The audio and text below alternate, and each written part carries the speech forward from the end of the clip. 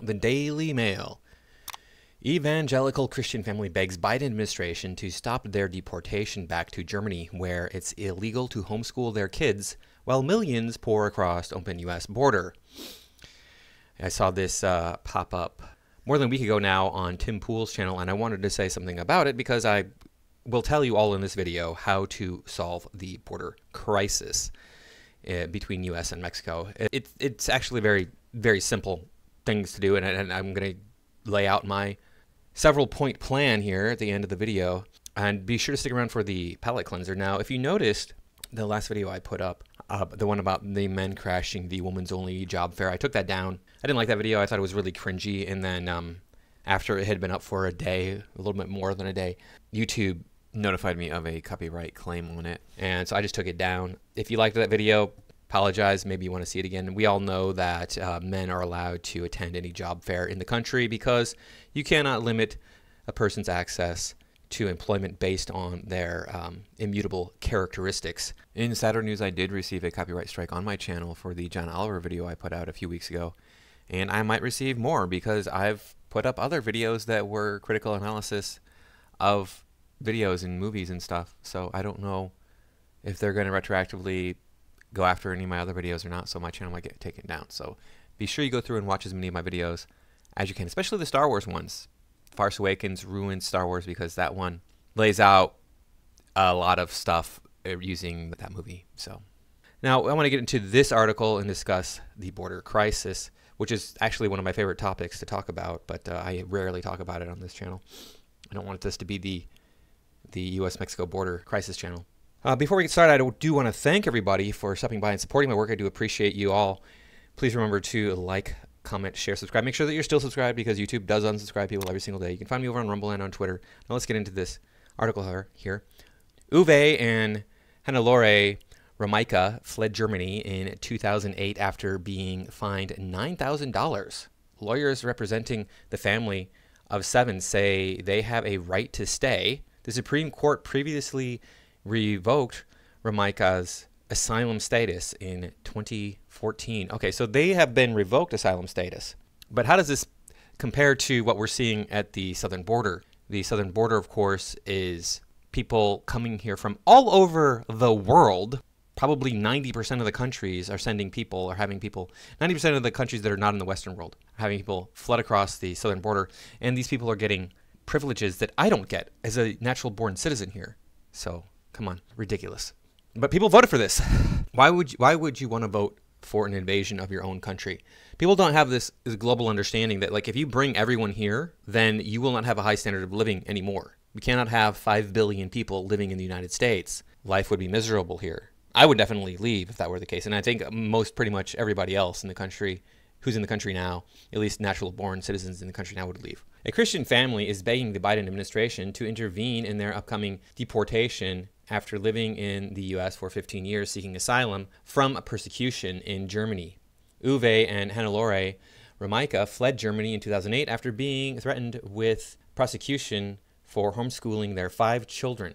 Homeschooling in Germany is only allowed in very limited circumstances, and the family was facing a $9,000 fine, so they moved to East Tennessee and filed for asylum. Authorities denied their claim in 2013, with the family attempting to appeal the decision after the Obama administration challenged the initial ruling that was approved. They do not have citizenship in the U.S. Well, yeah, we know that. They're, they're German. Actually, some of them do have citizenship in the U.S. Why? Because, hey, they were born here. They have been able to live in the U.S. for the last 10 years under an indefinite deferred action status, but we're told earlier this month they must return to Germany. Their bid comes as millions of asylum seekers are pouring into the U.S. near the Texas border. Mm-hmm. Let's take a look here at this video. In 2008, a family fled from Germany to Tennessee after they were fined for homeschooling their kids. Five years later, their asylum claim was denied, claiming they weren't persecuted. But they were told their stay was indefinite. Now, after 15 years of making the United States their beloved home, they are facing deportation. Uwe and Hannelore Romeike join us along with Kevin Boden, an attorney. Thank you all for being here. Uwe, let me start with you. You claimed asylum because homeschooling is illegal in Germany, correct? And you've been homeschooling here in the United States ever since. That's correct, yes. And We were actually granted asylum first by the immigration judge here in the United States. And, and Hannelore, you made home in, in Tennessee. You've thrown roots down there. So, so Kevin, help me out here. Um, we're seeing record numbers of illegals race across our southern border, most of which are loosely claiming some sort of a need for asylum. Yet your clients clearly, because of their beliefs, want to homeschool in a country that allows it, and Germany does not. Square that circle for me.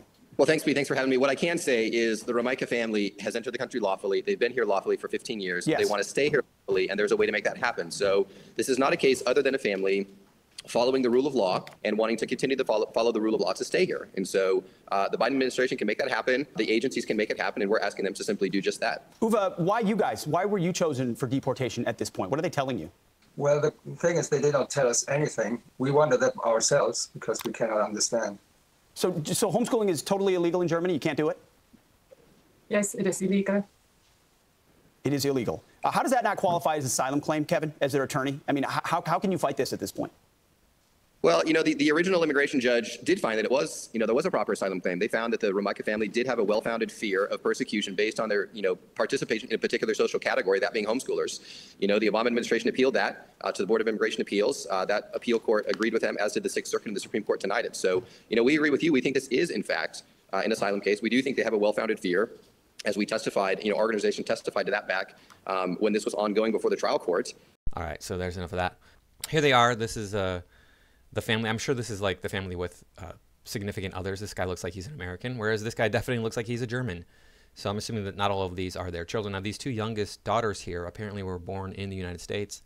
We know that the migrants, the migrants in uh, coming across the southern border, are economic migrants almost exclusively. That they're not seeking they're not seeking asylum and they travel through several countries typically to get to the United States where they could easily just set up camp in one of those other countries and then be safe from the persecution that they're they're experiencing in their home country if there was actually any persecution. But I can only imagine that the Biden administration wants to get rid of these people. Well, he, this probably is the whole family right here. It looks like she's pregnant, so she can have another child soon. This family here, why? Well, because they come from a wealthy first world country. Germany is one of the wealthiest countries in Europe. They're white. Of course, we can't have that. No. This is this is clearly a war on white people because you never hear about how China needs to be more diverse. You never hear about how Zimbabwe needs to be more diverse. You never hear about how Panama needs to be more diverse. You never hear about any of these other countries that are not considered white countries need to be more diverse. And yet, what is happening as we increase diversity in the United States? I mean, you do the math. Targets, nine targets are going to close. The general store, the most important resource in the economy, probably, as far as you know a, a shop is concerned, closing nine, nine locations. Hmm. And it's because we are well enriched by people who you know, they, they have different cultural values than than the Europeans do. I don't know what to tell you. I mean, that's just that's just the fact of it. And they also they're also Christian, which does not help. But of course, a lot of the people flooding the southern border are Christian as well, and very traditional Christian values.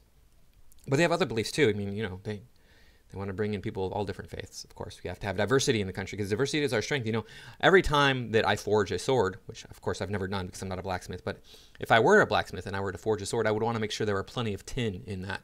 Tin, maybe some aluminum, some copper, toss all that in there. Maybe some bronze too, along with this the steel. Put all that together because that's going to make uh, the sword stronger. Mm-hmm.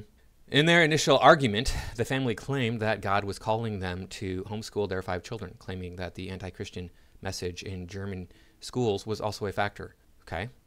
The couple are now begging the Biden administration to intervene in the decision after they were told to obtain German passports on September 6th. During a routine check in, the family were told their deferred status had been revoked and were given four weeks to apply for German passports. Wow, that's not a very long time. Speaking to Fox and Friends, Uwe said, They did not tell us anything.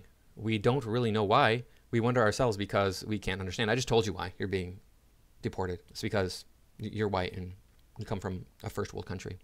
His wife added that the laws haven't changed in Germany, so they would still face the same persecution. The family was reportedly not giving any prior, I think it's supposed to be not given, any prior warning or explanation other than there had been a change of orders. In a legal brief in 2014, the Justice Department wrote the goal in Germany is for an open, pluralistic society. Teaching tolerance to children of all backgrounds helps to develop the ability to interact as a fully functioning citizen in Germany. You know, having a pluralistic society actually makes you less tolerant in my experience. Look at the, the issues that are coming along with this mass immigration of people who are not white into the country. And it sounds like a very racist thing to say, but that's the whole point is people are always pointing to the problems that are being caused by this group of people that isn't white or that group of people that is white. There's this friction between the racial groups. It's, it's really obvious, it's really easy to point to another person and say, he looks different from me, he belongs to this group, and that group is bad. It's very easy to do that. And white people do it too, non whites, non whites do it to white people, non whites do it to other groups. I, I lived with, a, with enough Hispanic people out here in California hear them talk about black people. Wow. You think that white people are racist against black people? Whoa. Don't even get me started on the Hispanic people and the way they talk about them. So yeah, there's there's racism all different directions. And so th- if you have this pluralistic society, people are always going to be pointing to, hey, look, they're causing the problem. Hey, look, that group over there is causing the problem. This group here is causing the problem. We're the ones causing the problem, and we're proud of it. I mean, do you think that all of these smash and grab robberies that are happening across the country, do you think that those people are going, I'm, I'm so ashamed that my group of people is causing this problem. No, they're like proud of it. Why wouldn't they, why wouldn't they be? Kevin Boden, an attorney representing the family, said they found that the Romeike family did have a well-founded fear of persecution based on their participation in a particular social category, that being homeschoolers. Well, there you go. Germany doesn't allow homeschooling, then you know they should probably be here. And here we go. We got illegal boarding cro- border crossings video. Let's take a look at that.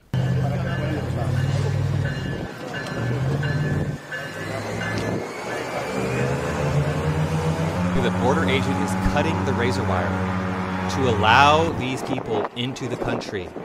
These people should be arrested and imprisoned. This is treason. They're committing treason to allow people that are clearly not seeking asylum. I mean, these are young women. They might be, but I doubt it.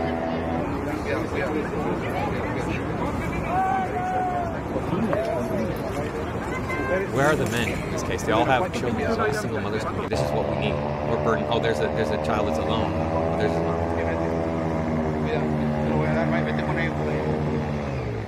People bring these children on this trip, endangering their lives. Here we go. Here's the young men. Little these young men. They're all healthy, able to walk on two legs. What are they? What are they running from? They're not running from anything. We know this. This guy has a Duff shirt on. That's not American. There's a Nike shirt, Duff shirt, another Nike shirt. They're not American. I don't. These people, they already have. They already know what they're getting when they come here because they've already seen. They've already had a taste of it in their home country. And th these guys are not even thin. Look, some of these guys are overweight. Here's another one crossing the border at dusk. It looks like it. Maybe it's in the morning, but I think it's dusk.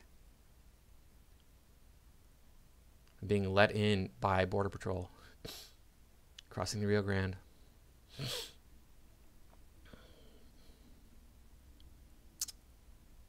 Ridiculous. All these these hundreds of people standing here, and this is just a tiny drop in the bucket. Anyway, disgusting. The Obama administration appealed that to the Board of Immigration Appeals. That appeal court agreed with them, as did Sixth Circuit and the Supreme Court denied it. We think this is, in fact, an asylum case. We do think they have a well founded fear, as we testified. I can tell you today, I talked to families today that have fear in Germany, and they fight their the persecution there is very real today as it was 15 years ago. The Homeschool Legal Defense Association said in a statement in the 10 years that the Romeikes have lived peacefully in the United States, they've built a second life. They have two children who are American citizens and two other children who married American citizens. One of these couples recently welcomed their first child. So I don't know what to tell you. These people have integrated so what's going to happen is this is what I would do if if you had to go back. Okay, it's very simple. The the uh, children who are married, they just they probably already have green cards, but they could if they don't, they could apply for green cards. It's pretty easy to get them. And then the children who are citizens here could just stay with those adult family members who are their brothers and sisters or whatever. And um, there's four out of the six people in the family or something. I, I think there's six, six children. So four out of the eight people, half of them are already here And you think they're just not going to apply for residency or citizenship? The others, they could probably could at that point. Deportation to Germany will fracture these families while exposing the Romeikes to renewed persecution in Germany, where homeschooling is still illegal in almost every case. But there is still hope. The United States executive branch intervened once before to grant the Romeikes a respite, and it has the power to do it again.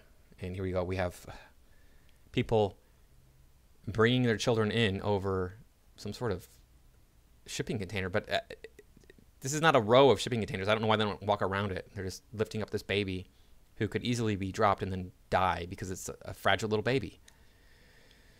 But they don't care. They're willing to take the risk just so they can make a couple bucks.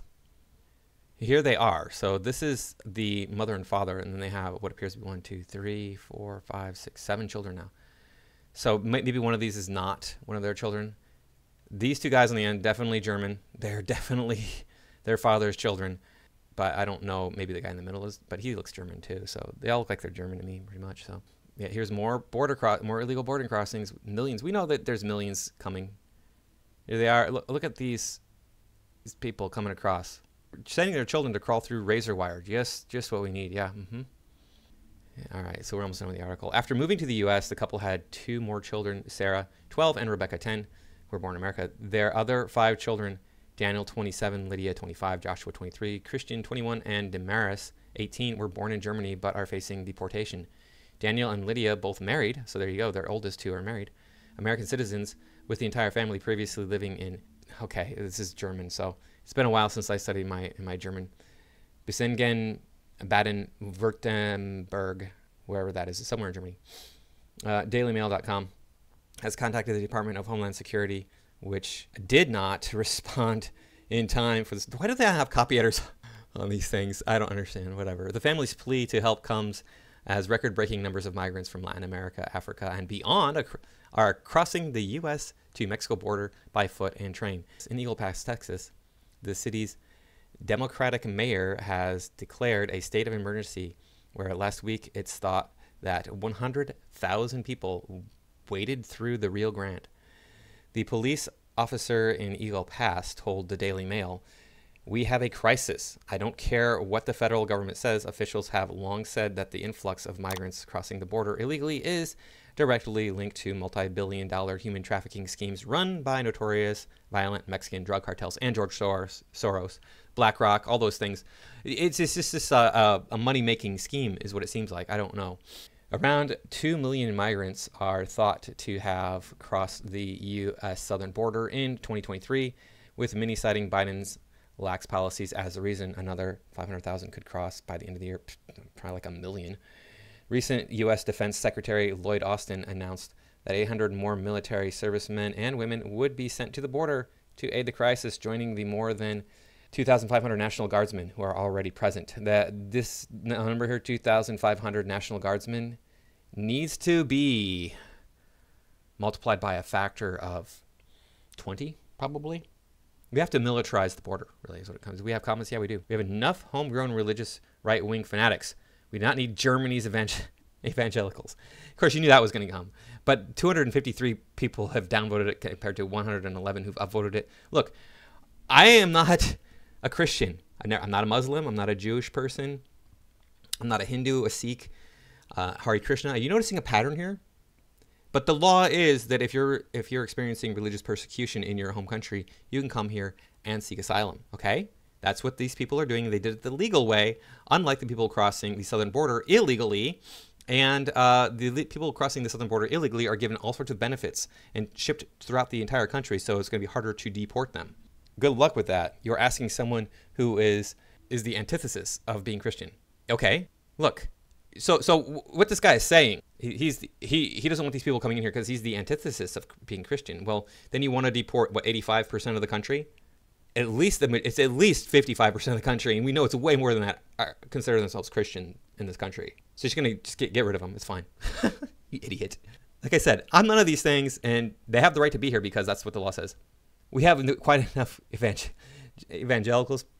Again, downvoted more than it's upvoted. Um, that's odd. They broke German law and are criminals, but want a democratic president they do not like to protect them from the crime by illogically comparing themselves to people wholly different in a wholly different situation to themselves. LOL, tall about entitled. Um, yeah, and then somebody wrote back, "Are you okay?" Yeah, because this guy does it's not making any sense here. And then this guy says, "What? Why does it ma- matter what religion they are?" That's exactly my point. The law says, "Hey, if you're if you're experiencing religious persecution in your home country, you can come here and you'll be free to you know re, uh, practice your religion." So they've been here illegally since 2014. SCOTUS ruling. Where's the MAGA outrage? Okay, well if they've been here illegally, then they should be shipped out. You're right. I didn't get that from the uh, the article. I got that they're like living in limbo. If they have been here illegally, yeah, get them out. Ship them out. Religious people always make exceptions themselves. Okay, that doesn't make any sense because you don't know how to speak English or write English, whatever. Uh, I don't think that English is your second language, but I'm thinking you're just an idiot. That's why you don't know how to speak English correctly, which is typical of what I find of these people who are against um, MAGA, etc. But uh, anyway, the, the, woke people, they're, they don't know how to speak English. But um, you think that the people crossing the southern border are not religious? They're all they're all heathens. They're all atheists, right? Yep, that's how it is. Idiots. All right, so let's tackle the southern border problem. We need to send the military to the border. Okay, that's obviously job one. Tanks, guns, all that stuff need to be there. And we need to be authorized to use uh, the long range tools that the military is known for. And before you say, oh, that's illegal, we can't do that, it's a human rights violation, I don't care, change the law. What else? I mean, you want to stop this problem, that would, that would end it tomorrow if that were the case. And maybe they just need to be used to give warnings. That would be enough. Okay. Uh, as soon as I heard that um, the border agents were whipping the poor illegal immigrants, and there was a big uproar about that, as you all, of course, remember. All border agents would be equipped with bullwhips and um, required to use them. They would be severely punished if they did not meet their quota of use of the bullwhips, up to and including termination. Okay. Any border agent caught aiding and abetting migrants across the border, immediate termination and imprisonment. There are beacons, as I understand, there are beacons in the desert where um, if a if a, an illegal comes across this beacon, they can push the button and it'll send a call to the nearest guard post to send out a truck to pick them up. Those need to be eliminated right away. If you're going to come here and take the risk, that's on you. We're not going to help you get here. I'm not, why, are we helping people get here? It makes absolutely no sense. I know you don't want to see these people die and suffer. Stay at home. And I know you're suffering at home. I get it. Kick rocks. We got enough problems here as it is. We don't need more. And we're just adding more, adding more and more and more and more and more, adding more fuel to the fire. Okay. Arrest and deport all illegals. Is if you cross the border illegally, arrest, deportation, that's it. Cut off all interaction with every country south of the border in North and South America, with the exception of Panama, of course. So no um, economic activity, no tourism. You can't go there as a tourist. Tourists can't come here. That eliminates the whole I'm going to come here by plane, I'm going to come here by boat issue. And now you're probably saying, you're probably saying, oh, wait, but our economics, our economic system, we, we do more trade with Mexico than any other country. We'll survive. Trust me. We're going to get through it. We're going to find a way. That's what America does. Okay? Oh my gosh, you might not get your av- avocados. I don't care about your damn avocados. Avocados don't even taste good, so what are you bitching about? Learn to eat good food. Now, that would seriously impact me because I do like me the chocolate. And we wouldn't be getting too much of that anymore. That would jack the price way up. You're talking like $100 a pound of chocolate, probably. Probably even more. $300, $400 a pound, probably. But, you know, I'll survive through it. I'll get through it somehow. I will suffer and, and manage. So I'm willing to make these sacrifices that we have to make to secure this country and keep the um, invaders out because this is an invasion. In addition, I'm not saying that I like any of these ideas that I'm presenting here. I'm just saying that they would work to solve the problem. All right, so now moving on to the last and uh, biggest talking point, which is the wall. Biden, uh, I guess, flip flopped on this now. He said he was not not another foot of wall, right? Not another foot of wall. In fact, he's been tearing the wall down, but he's going to add another 20 miles. 20 miles. Mm, man, that's going to keep a lot of people out, right? The border between the U.S. and Mexico is approximately 2,000 miles long, so 20 miles is 1%. Wow. So instead of having 5 million people cross in a year, you're going to have 4.95 million cross? No, okay. Yay. It's going to save a lot. And I know that's not accurate. I know because there's already border walls, so adding 20 miles is going to be more than 1% of open border that is that is uh, blocked off. But we need to have a wall along as much of the border as is reasonable, which is almost all of it. I guess there's some places where it's really difficult to cross, so people don't cross there. We also make, need to make sure that we close all tunnels, find all tunnels, ship out, find and ship out all of the cartels in this country. They have to be removed. All of the illegals have to be removed from this country. Period. They have, we have to find them all, remove them. That's it. That's the only interaction we should be having with countries south of the border is shipping their illegals that have come here, their citizens back, and uh, just pull out the consulates too. You don't want to work with us in a respectful manner. We're not going to have anything to do with your countries. You want to go to war with us? Okay, fine. We're ready. Bring it on. Now, um, here is my example of a border wall that I have developed here in the 3D view. Um, now, I'm going to talk more about walls here in a moment, besides just this right here. So what we have here is we have a trench on one side, which is 10 feet deep, concrete lined, uh, and 10 feet wide. Uh, you come over across the trench. Now it's angled here on the bottom, as you can see. So that way it's harder to get for a ladder to get purchase on there. So the ladder would have to be even longer because it would have to slide back to the wall. And the wall, it would have to also sit at a specific angle because I added an extra little trench down here on the bottom at the very far wall on the on the Mexico side where this is like six feet or six, six inches wide so that the ladder could fall down in there and that it couldn't get the correct angle to prop itself up against the top of the wall. The wall itself is 20 feet tall. Razor wire down here with an overhang. So you, if you get through the razor wire, then you have to climb up this overhang, which is slanted on top, so it's hard to get a grip on. Slanted here, um, and then the uh, you could put regolith rocks or even concrete inside of these metal pillars that uh, form the wall, and then there's razor wire on top of that, along with an overhang that is two feet wide, or I think it's two or three. Let me see here. It's two. It's a it's a little over two, almost two and a half, like two feet four inches, two feet five inches. So that's going to be hard if you can climb up here to reach over that, because people do climb right up the bars on the the uh, walls that we have now.